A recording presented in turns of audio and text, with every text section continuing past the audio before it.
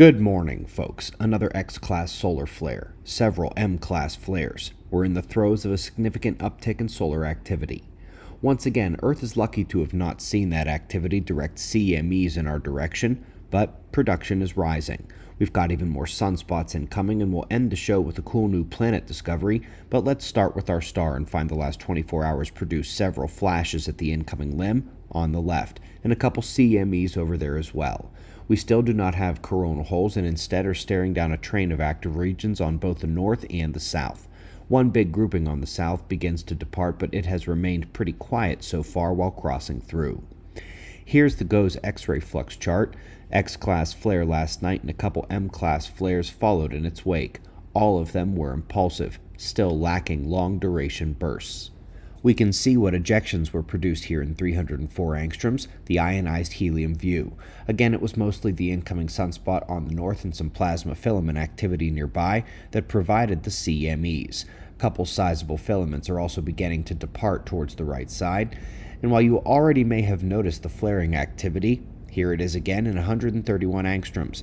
Big flashes are on the left. The X class flare came from that northern incoming sunspot group, and the M class flares that followed came from there and the region on the south as well, which produced the previous X class flare. Bright saturations in the X ray and extreme ultraviolet view. Let's take a closer look at the X class event.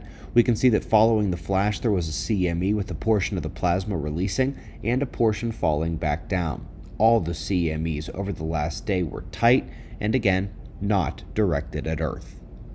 Let's take a quick look at the sunspots to show we'll have to be on alert for the next several days, and you may have also noticed in the earlier views that there are large umbral fields coming over the limb, so there's even more sunspots to watch for as we begin heading towards the weekend.